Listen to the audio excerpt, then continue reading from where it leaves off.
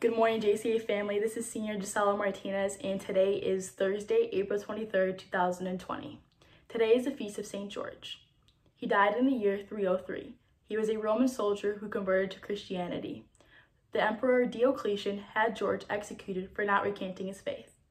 Let us begin our morning prayer in the name of the Father, Son, and the Holy Spirit. Amen.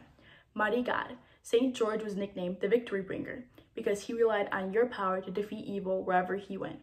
Starting out as a soldier in his country's army, he then converted and became a soldier for Christ. Laying down the world's armor by giving the wealth to the poor, he forever after carried the shield of faith and won many victories for those who sought your help. I ask him to pray for the battles I've been enduring and to bring your triumph into my life. Help me to overcome the enemy, Lord Jesus, and teach me how to protect myself with ever increasing faith. St. George, pray for me. Amen. Our Lady of Mount Carmel, pray for us. St. Francis of Assisi, pray for us. In the name of the Father, and the Son, and the Holy Spirit. Amen.